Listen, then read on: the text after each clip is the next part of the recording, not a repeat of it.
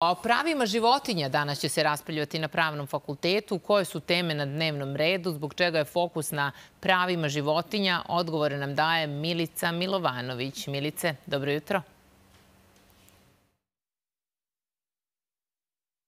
Odgovori na to, ali i na druga pitanja koje su postavljene u najavi, da će nam profesorka Pravnog fakulteta Vanja Bajević. Vanja, dobro jutro. E, počinje uskoro konferencija o pravima životinja, o dobrobiti životinja. E, šta je u fokusu, o kojim će se temama razgovarati? Dobro jutro Milice, najpre da zahvalim vama i vašoj televiziji na interesovanju za ovu važnu temu. Pre svega moram da naglasim da je tema značajna ne samo nama koji volimo životinje i se osjećamo sa njihovom sudbinom, sa njihovim patnjama, posebno po ovim hladnim danima, već i svim onima koji ih ne vole ili ih se plaše. Jer pre svega treba naglasiti da država svake godine na račun odštede na ime ujeda na napuštenih pasa isplaćuje milionske iznose. Na budžete lokalnih samuprava godišnje idu takođe ogromna sredstva kako bi se rešili problemi napuštenih pasa i problematika zoohigijene. U krajnju ruku, cilj konferencije jeste da zakonodavcu pruži korisne smernice da se ovaj problem najefikasniji, najbolji način reši, a pre svega u interesu i životinja i svih građana.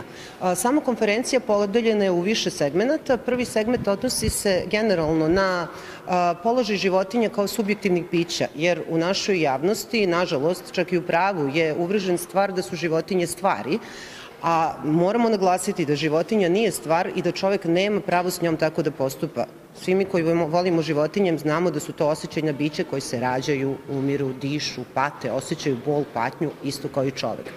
Drugi segment podeljen, e, posvećen je u stvari zakonu o dobrobiti životinja koji je donet pre 14 godina. Da su odredbe ovog zakona primenjivane, faktički mi ne bi imali ove probleme. Jer u velikoj meri zakon propisuje odgovore na pitanja kako, kako regulisati odgajivačnice, kako regulisati prihvatilišta, sankcioniše napuštanje pasa. Nažalost, sankcije se ne primenjuju, prekršeni postupci se ne pokreću.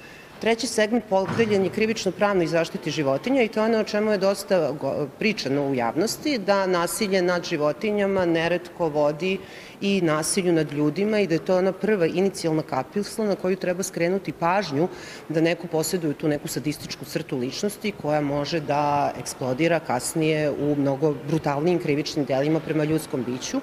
I na kraju bavimo se međunarodno pravnim segmentom čitave ove problematike, to jest primerima iz dobre prakse u drugim državama kako se ovaj problem na najadekvatniji način rešio. Hvala vam što ste izdvojili vreme i govorili za prvu televiziju, veoma zanimljiva tema. Evo, dakle, e, čuli ste i o kojim temama će se konkretno govoriti, dakle, danas na Pravnom fakultetu.